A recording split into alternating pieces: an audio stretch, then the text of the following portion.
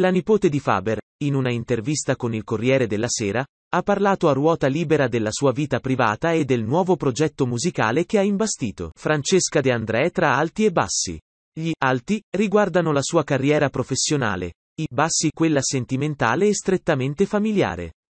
In una intervista rilasciata al Corriere della Sera, la nipote del compianto Faber si è raccontata a ruota libera.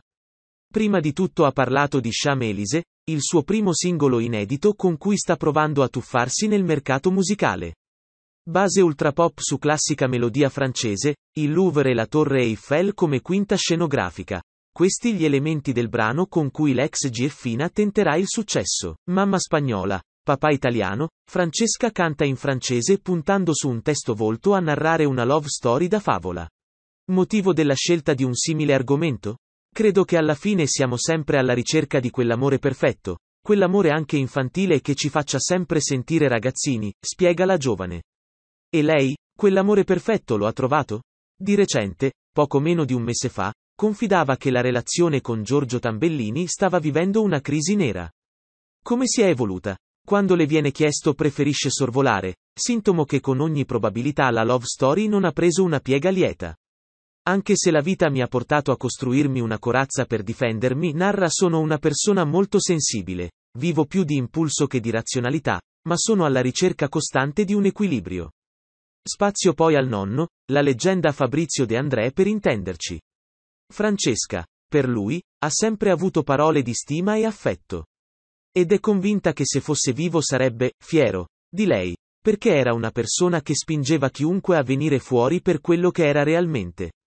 Inoltre ricorda che Faber ha spesso posto attenzione sulle persone uniche, ai casi particolari. Credo di essere uno di quelli. Penso che possa essere l'unico della famiglia De Andrea ad esserne orgoglioso. Chiosa.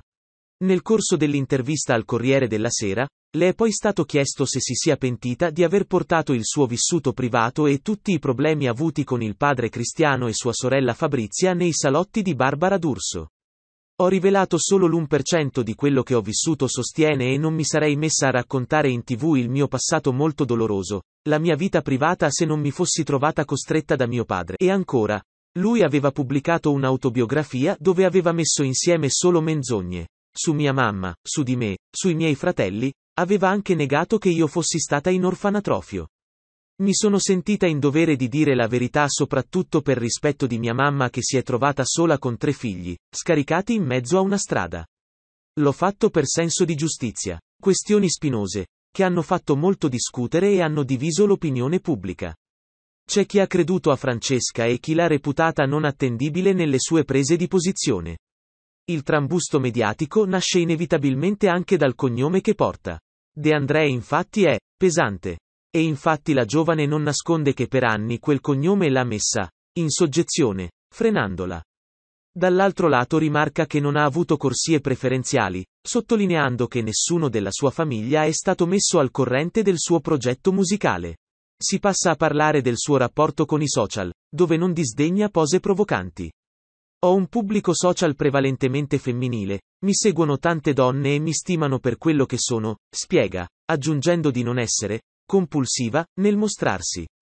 Posso esserci per due settimane e poi sparire, perché non sono in grado di fingere, dunque non penso di avere un pubblico che mi possa fraintendere.